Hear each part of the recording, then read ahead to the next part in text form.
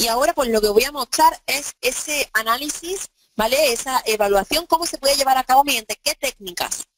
Y por tanto voy a mostrar cómo se automatiza un sistema de gestión mediante una herramienta como es ISOTools, ¿de acuerdo? Como antes voy a cortar eh, la cámara web para que se, sea mejor la conexión, ¿de acuerdo? Pues bueno, este sería eh, el acceso a la herramienta ISOTools, ¿de acuerdo? Eh, voy a entrar con un usuario y una contraseña, cada usuario eh, podrá acceder con una serie de permisos, ¿de acuerdo? Esos permisos lo que van a hacer será limitarlo a que pueda haber documentación en mayor o, menor, o en menor medida, a que pueda pues ejecutar diferentes tareas, etcétera, ¿de acuerdo? Bueno, si yo accedo a la herramienta, ¿qué es lo que me está presentando? Pues bueno, eh, primeramente aquí donde estoy señalando, lo que tendré será el logo de mi organización, ¿de acuerdo? Tendré, pues bueno, un saludo, aquí tengo el calendario, eh, aquí tengo un buscador que es muy interesante, ¿por qué? Pues porque me está eh, mostrando cada una de las aplicaciones en las cuales yo puedo estar dando cumplimiento a esos requisitos de la normativa ISO 9001-2015, entre otras, ¿de acuerdo? Ya sabéis que ISOTools es una herramienta dinámica, totalmente escalable y adaptable a las organizaciones, por tanto, eh, puede abarcar tanto sistemas de gestión que estén basado en las normativas que sean, ¿de acuerdo? Eh, como tengan, ¿ok? Bueno, si yo me voy al apartado donde tengo el botón, donde tengo esta interrogación, ¿qué es lo que, a qué puedo acceder? Pues bueno, tengo un botón de chat, ¿para qué? Pues para acceder a un consultor experto al cual le hago mis dudas o consultas que tenga en cuanto al uso de la herramienta o cualquier, pues, no sé, eh, cuestión que tenga pendiente, ¿de acuerdo? Y que quiera, pues, eh, recordar cómo se ejecuta, ¿vale? Cualquier paso que, que olvide o, bueno, necesite asesoramiento. Eh, también tengo otro canal, que, es el Helpdesk. En este canal yo tengo la, posibilidad de generar tickets, ¿para qué? Pues bueno, para eh, realizar peticiones de servicio, realizar eh, cuestiones para ver si se puede mejorar la herramienta para un requisito en concreto que yo tengo específico, todas esas cuestiones que se quieran hacer con el equipo de soporte, el cual atenderá en, pues bueno, en el tiempo definido, ¿de acuerdo? Y aquí también tengo el estado de los servidores, en el cual ISOTools me va a presentar de manera inmediata el estado en el que se encuentran los servidores que eh, tiene nuestra organización, ¿de acuerdo? También tengo un apartado de actualizaciones. En este apartado, ¿qué es lo que estaré encontrando? Aquí estaré viendo cada una de las actualizaciones que además de eh, haberla recibido si soy cliente de ISOTools en mi correo electrónico mediante un boletín mensual que, bueno, que nuestra organización envía de manera, como ya digo, mensual a nuestros clientes, también la cuelga en este apartado de, de actualizaciones en ISOTools, ¿de acuerdo? Por tanto, pues podéis acceder a cada una de ellas y consultar cualquier novedad que exista en la herramienta, ¿de acuerdo? Pues bien, eh, tengo un apartado también, como aquí veis, de acceso directo. ¿Esto para qué sirve? Pues bueno, si yo, por ejemplo, soy eh, una persona que va a utilizar la totalidad de las aplicaciones con las que se maneja ISOTools, pues a lo mejor no me interesa incluso tener aquí estos accesos directos, o sí, depende de, mi gusto. Pero si, por ejemplo, imagínense que yo soy el director de recursos humanos, del Departamento de Recursos Humanos, ¿qué aplicaciones son las que yo eh, simplemente estoy accediendo? Pues bueno, a lo mejor accedo a recursos humanos, a procesos, eh, no sé, a gestor documental, para ver pues esa documentación que tengo subida en ISOTools y que de esa manera, pues bueno, es mm, mucho más seguro, mucho más eh, accesible, ¿vale? Para todos los empleados de la organización, etcétera. Pues bueno, de esa manera yo tendré aquí las aplicaciones que vaya a utilizar con frecuencia y no tendré que ir buscando, ¿vale? Por el listado de organizaciones o por eh, este buscador, que aunque es muy sencillo y muy intuitivo, pues bueno, de esa manera yo me estoy pues eh, configurando de manera personalizada a nivel de usuario esas aplicaciones en estos iconos de, de acceso directo, ¿de acuerdo? ¿Qué más veo? Pues mira, veo también las noticias, esas noticias que yo en mi organización de manera interna quiero publicar, ¿vale? Es un medio de comunicación, yo puedo crearla desde aquí o desde la aplicación de noticias en concreto y que yo voy a decidir que, cuáles son los usuarios de ISOTOOL, o sea, los, los empleados de mi organización que van a poder acceder a ella y que también pueden contestar incluso. Es similar al apartado de comunicación interna. Lo que ocurre es que el apartado de comunicación interna, que también es una aplicación que yo puedo buscar en ISOTools, también me está eh, sectorizando un poco estos medios de comunicación. O sea, si yo quiero hablar de este comité en concreto, pues voy a abrir un tablón sobre este comité y cada una de las secciones en las cuales yo quiero pues comunicarme con mis empleados o con algunos de ellos en concreto, ¿vale? Tengo otro tablón diferente para comunicarme con otros temas y dentro de ese tema pues con diferentes cuestiones en, eh, en concreto, ¿de acuerdo? Bueno, aquí como veis, estoy señalando el calendario de agosto, me está señalando la fecha del día de hoy, en la cual si yo tuviese alguna actividad pendiente, cuando yo accedo, ¿vale? Al día de hoy, IsoTools me estaría mostrando cada una de las tareas en la hora en la que se ha programado para que yo pues como usuario que accedo a ISOTools, tengo la responsabilidad de, eh, no sé, imagínense, elaborar un documento, revisar un documento, eh, aprobar algo en concreto, realizar alguna tarea, medir un indicador, definir un objetivo, eh, no sé, entre otras, ¿de acuerdo? Pues bueno, aquí me lo estaría mostrando, ¿vale? La hora en la que se ha programado, por ejemplo. Bien, eh, si yo, por ejemplo, eh, no quiero verlo desde ahí, también tengo la oportunidad de ver cuáles son las tareas que se me han asignado a mí desde tareas pendientes. En este caso yo tengo una, y bueno, también cuáles son los formatos a los cuales yo pues tengo que estar atendiendo, ¿vale? Para dar salida. Bien, eh, en estas tareas pendientes, bueno, que, sepáis que ISOTools tiene un sistema de alertas y de avisos que llegan tanto a esa persona, a su correo electrónico, tanto a la encargada de realizar esa tarea, como al responsable de revisar la tarea si yo quiero, por ejemplo, que la revise. También se puede enviar a varios responsables de, de supervisión a la vez, etcétera, ¿de acuerdo? Se pueden enviar avisos a personas responsables, a personas... Eh, que tienen, pues, por ejemplo, que ejecutar esa tarea o tanto como yo quiera, ¿vale? Para una tarea en cuestión.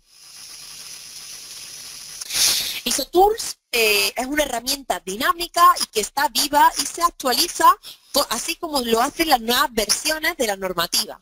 Por tanto, ese enfoque a proceso que ha eh, fusionado la nueva versión de 2015 de la ISO 9001, ¿vale? Lo que hace es eh, ese enfoque basado en proceso y el enfoque para el sistema de gestión, como bien sabéis, lo fusiona y lo lleva a un enfoque a proceso. Por eso ISOTools, de manera inmediata, una vez que se accede a la herramienta, ¿de acuerdo? Podemos ver directamente ese mapa de procesos representado, ¿vale? En mi organización, el mapa de procesos eh, corporativo, ¿de acuerdo? Aquí estaré viendo cada uno de los procesos, ¿vale? Y, pues bueno, por supuesto, esto no es una herramienta, o sea, una, una imagen estática, es una imagen dinámica.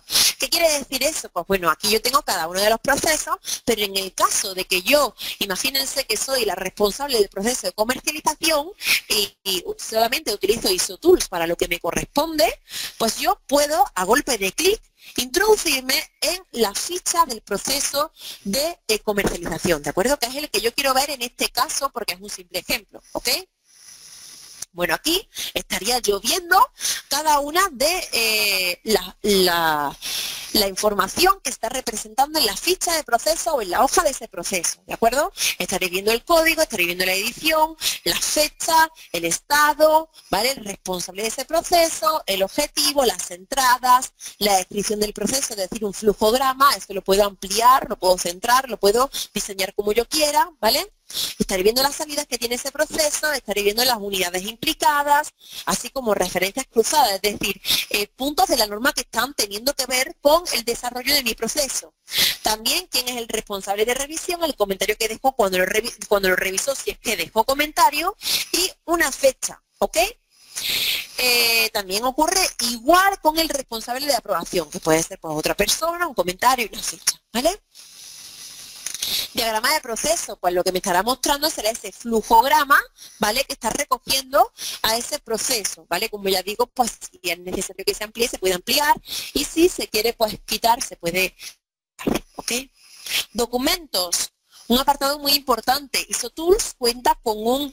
Eh, con un almacenamiento de documentación de eh, cada una de, las organizaciones, ¿de acuerdo? Por tanto, en vuestro ISO Tools tendréis una aplicación exclusiva para almacenar un repositorio de documentación, ¿vale? Ese, ese repositorio de documentación pues tiene también un workflow de, o sea, de elaboración, revisión y aprobación de cada uno de los documentos.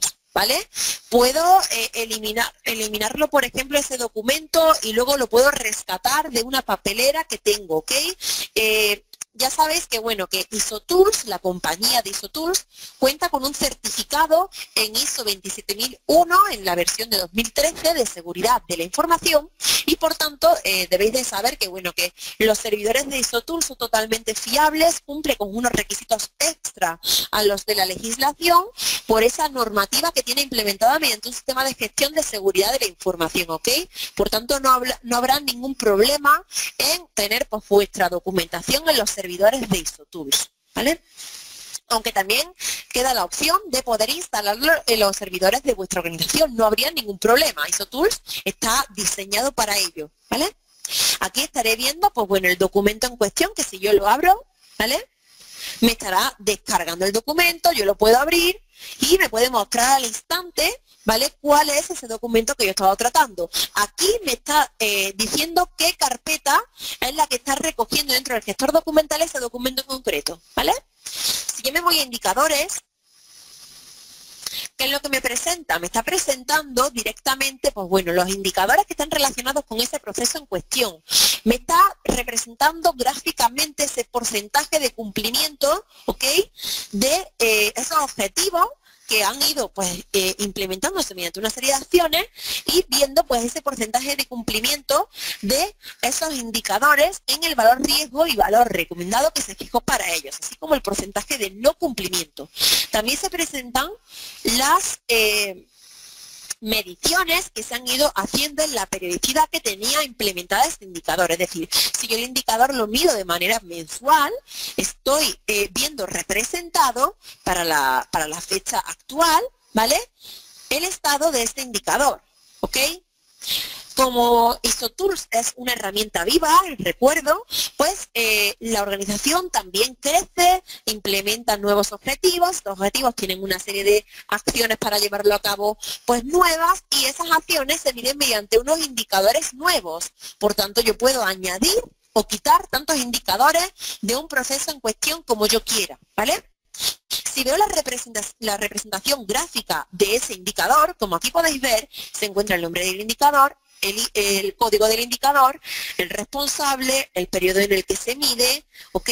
El valor, el valor de medición, eh, el peso que tiene ese indicador, yo lo puedo poner de manera manual, puedo asignar más peso a un indicador que a otros para que luego me lo represente de esa manera. Y si yo me voy a seguimiento, ¿qué es lo que me va a presentar ISOTools? ISOTools me presenta en un calendario para el año 2016 en la medición de ese indicador, este indicador está medido de manera trimestral, ¿de acuerdo? ¿Cómo se han ido haciendo esas mediciones, ¿vale? Esas mediciones, pues bueno, en el caso del primer trimestre está por debajo del valor riesgo que ha identificado ISOTools. ¿Ok? ¿Eso qué significa? Significa, pues que aquí, como estáis viendo lo que estoy señalando, para el primer trimestre, ISOTools me da la oportunidad de que directamente el semáforo se me pone en rojo. ¿Por qué? Pues porque no he llegado siquiera a alcanzar ese valor riesgo del indicador, o sea, la medición del indicador. Por tanto, ISOTools me, me, me, facilita que abra una no conformidad, como estáis viendo, ¿vale? En significancia en el primer trimestre, me pues facilita esa opción de abrir una conformidad directamente por esa medición que no corresponde con lo que se ha planificado para ese indicador en cuestión. En, los en el segundo y tercer trimestre vemos que se supera ese valor riesgo, pero no se alcanza el valor recomendado. ¿Ok? Pues bueno, ahora sí voy a mostrar cómo se lleva a cabo la gestión de riesgos y oportunidades. Si yo la busco en mi, buscador, pues bueno, vemos que me aparecen muchas aplicaciones. Estas aplicaciones pueden ser exclusivas de sistemas de gestión que se automatice mediante ISO Tools, como por ejemplo gestión de EPIs. Pues aquí estaré tratando un sistema de gestión eh, de seguridad y salud, basado por ejemplo en un estándar OSAS 18001 o lo que ya tenemos implementado, que es una ISO 45001. Cuando salga en el futuro, pues bueno, están ya diseñando esas aplicaciones para que den cumplimiento, ¿de acuerdo? Así como el decreto de Colombia normativo que salió en 2015 y que también pues se, da salida a esos requisitos que está solicitando la normativa mediante estas aplicaciones, ¿ok? Bueno, pues me meto sin más dilación en la aplicación de gestión de riesgo y Bien, si yo le doy a que me muestre todos los procesos, aquí estaré viendo como para cada uno de los procesos, esto tú le estás identificando cada uno de los riesgos, ¿ok? Identifica los riesgos para cada proceso. Identifica el efecto de ese riesgo para ese eh, proceso, ¿ok? Y aquí lo está evaluando con una serie de criterios, que son los siguientes. Ocurrencia, eh, severidad, ¿ok? Y detección. ¿Vale? Lo mismo da que sean probabilidad de consecuencia, que es lo que hemos identificado en la parte de contenido, ¿vale? Y aquí encima pues le hemos añadido otro más que es pues, detección, ¿vale? Entre ocurrencia y severidad. Añadimos una fórmula de cálculo mediante la cual pues ISOTools está eh, calculando cuál es el valor real de eh, la evaluación de ese riesgo, ¿vale? Para ese proceso y el efecto en cuestión que está tratando. Vemos que ese riesgo es significativo, dependiendo del nivel de significancia que se ha ido marcando, ¿vale? Para ese, ese riesgo en concreto. Vale, pues le aplicamos a continuación un control en concreto, que va a ser, pues, por ejemplo, controlar la salida del tren de la estación anterior. ¿Para qué? Riesgo, para riesgo en retraso de salidas del tren. ¿Y cuál es el efecto? Pues el retraso del viaje, ¿ok? Una vez que ha pasado un tiempo en concreto, aquí ya estamos viendo representado todo lo que es el ciclo de Deming, ¿ok? La planificación, la ejecución, el chequeo, ¿vale? Y el control en la última etapa de actuación. Bueno, pues, ¿cómo se evalúa si realmente esta acción ha sido eficaz? Pues mediante una nueva evaluación una vez que ha pasado un tiempo prudencial desde que se ha implementado esa acción de control, ¿vale? Vemos si realmente ha sido eficaz para disminuir o eliminar ese riesgo. ¿Qué es lo que hacemos? Volvemos a evaluar el riesgo. ¿Con qué? Con, que, con los siguientes criterios. Detección, ocurrencia y severidad. Que sepáis que estos criterios son totalmente parametrizables. Es decir, si vosotros no queréis estos criterios y queréis otros, si queréis otros riesgos, eh, tendréis otros procesos en vuestra organización y eso tú es totalmente parametrizable con lo que vuestra organización desee. ¿Ok? Pues bien, eh, tenemos la misma fórmula de cálculo y obtenemos un valor real. Por tanto, aquí podemos determinar que el riesgo es no significativo. Aquí se decidió no implementar ninguna acción más. Ok, no estaría mal. El riesgo es no significativo, por tanto ya hemos eh, minimizado ese riesgo, ¿vale? Y en el caso de que saliera cero, pues el riesgo estaría eliminado. ¿Ok? De esta manera podemos presentar ante una auditoría esa gestión de riesgos y oportunidades que luego pues el auditor nos va a pedir cómo identificamos esos riesgos y oportunidades en nuestra organización, en nuestros procesos, productos y servicios y cómo lo abordamos. Mediante esta herramienta, mediante esta aplicación de ISOTools, podemos eh, llevarlos a cabo, podemos darle salida, podemos eh, evitar esa no conformidad, ¿vale? Que el auditor nos puede poner si es que no la tratamos, ¿ok?